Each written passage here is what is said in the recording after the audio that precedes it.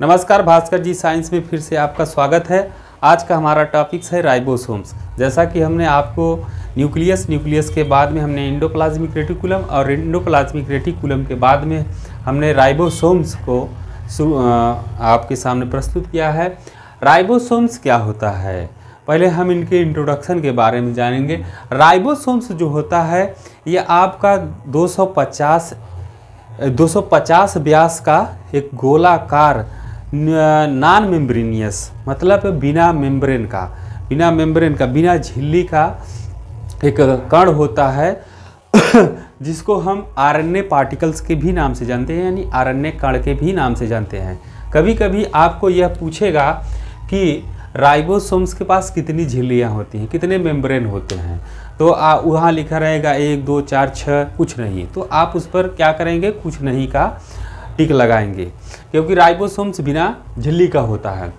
सबसे पहले हम आपको बता दें कि राइबोसोम्स जो होता है कि यह राइबोसोम्स बना किस चीज़ का होता है? यह राइबोन्यूक्लिक प्रोटीन का बना होता है। सबसे पहले सन उन्नीस सौ तिरपन में यह आपके रॉबिन्सन और ब्राउन नामक साइंटिस्ट ने इनको सेम के बीज में देखा था। कुछ समय बाद आ, कुछ समय बाद 1955 में यह नए साइंटिस्ट आए जिसको जिनको हम कहते हैं पेलेड। पेलेड ने इसको जंतु की कोशिका में भी देखा, देखने का दावा किया।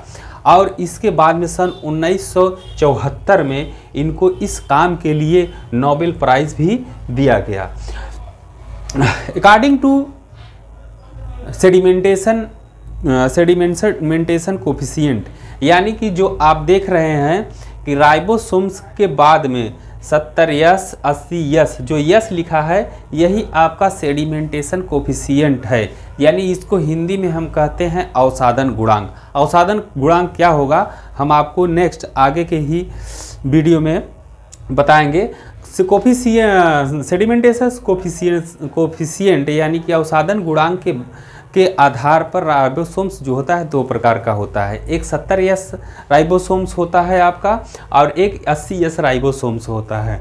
70 यस का राइबोसोम्स में दो भाग होता है। यहाँ देख लीजिए, एक बड़ा वाला जो होता है आपका, ये 50 यस बोला जाता है और छोटा वाला 30 यस होता है। अब आप कहेंगे 50 यस और 70 यस 50 और तीस मिलाकर के अस्सी होगा। अस्सी अस्सी होगा तो यहाँ क्यों सत्तर कहा गया? है क्योंकि जो पचास यस और तीस यस मिलाकर अस्सी होते हैं तो यह इनको गिना सत्तर इसीलिए जाता है। बाकी जो होता है, ऐसे खांचा की तरह। ऐसे चूड़ी की तरह ऐसे बैठ जाता है। जैसे आप नट और बोल्ट बैठाते हैं तो नट का अलग गिनेंगे तो और बोल्ट का अलग गिनेंगे। तो नट में दस चूड़ी, बोल्ट में दस चूड़ी। तो दस और दस मिला के बीस हो जाएगा। लेकिन उस पर मान लीजिए हम पाँच इस पर नट में से चढ़ाते हैं, पाँच बोल्ट में से चढ़ाते हैं तो पाँच इसमें से कम हो जाएगा, पाँच इसमें से कम हो जाएगा, पाँचें बचेगा। तो इसी प्रकार से आपका सत्तर यस जो होता है, पचास पचास यस और तीस यस से मिल करके यह सत्तर यस बनता है।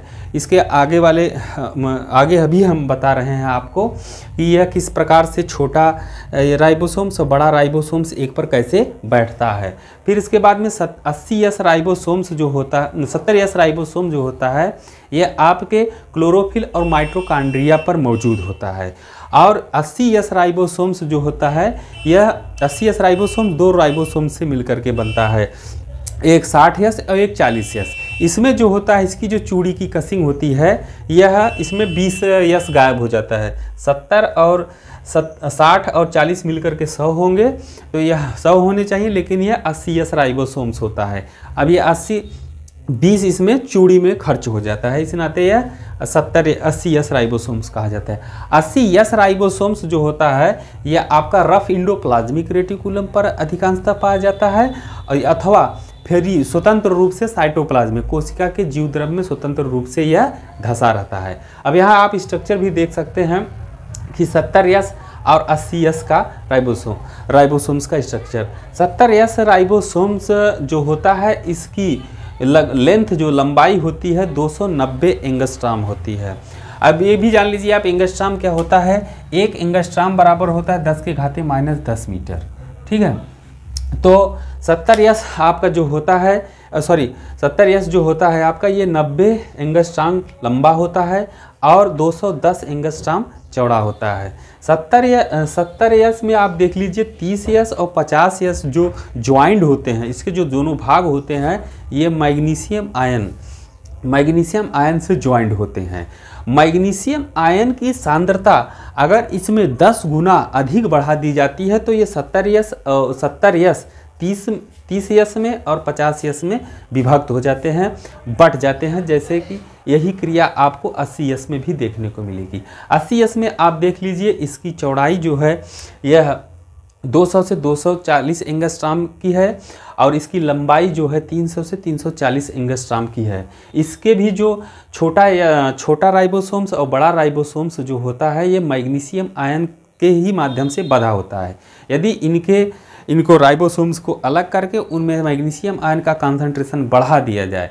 मैग्नीशियम आयन का कॉन्सेंट्रेशन जब बढ़ा दिया जाता है तो इन ये राइबोसोम्स क्या होते हैं? छोटे और बड़े राइबोसोम्स अलग हो जाते हैं।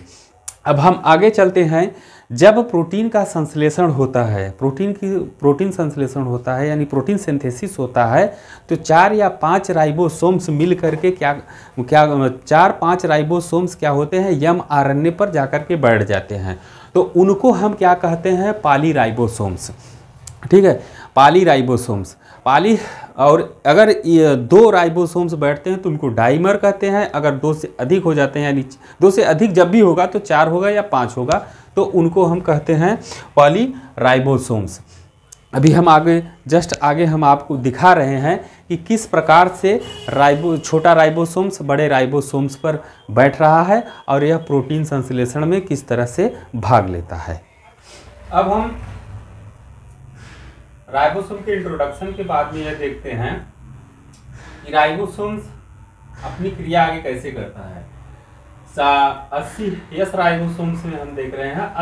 राइबोसोम्स में एक छोटा सा राइबोसोम्स एक बड़ा राइबोसोम्स यह मैग्नीशियम के थ्रू मैग्नीशियम आयन के थ्रू जुड़ करके यह राइबोसोम निर्माण करते हैं। फिर राइबोसोम्स अगर जोड़ करके ए, एक राइबोसोम दो राइबोसोम जोड़ दिया फिर मैग्नीशियम से ही ये जुड़ेंगे तो उनको कहेंगे हम डाइमर। ठीक है? अगर अब दो राइबोसोम तक तो जुड़ गया मैग्नीशियम से, लेकिन अगर फिर और भी राइबोसोम्स जोड़ने हैं तो आपको क्या होगा कि यह आरएनए, यम आरएनए के टुकड़े जो हैं, यम आरएनए के टुकड़ों पर जाकर के चार से लेकर के पाँच तक राइबोसोम्स बढ़ जाता है, उसको हम कहते हैं पाली राइबोसोम्स ठीक है? फिर इसके बाद में अब आप एक नए वैज्ञानिक आ गए, जिनका नाम है James A Lake. James A Lake नामक साइंटिस्ट आए और उन्होंने अपना भी नाम जोड़ने के लिए उस पर सर्च अब आती है बारी जेम्स ए लैक की। जेम्स ए लैक के बत, कुछ बताने से पहले राइबोसोम्स में कुछ बताने से पहले हम आपको बताएँगे कि राइबोसोम्स डाइमर और पाली राइबोसोम्स कैसे बनाता है।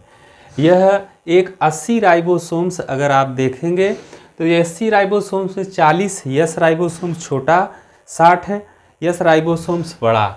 यह मैग्नीशियम आयन के माध्यम से जुड़ता है और एक राइबोसोम्स बनाता है।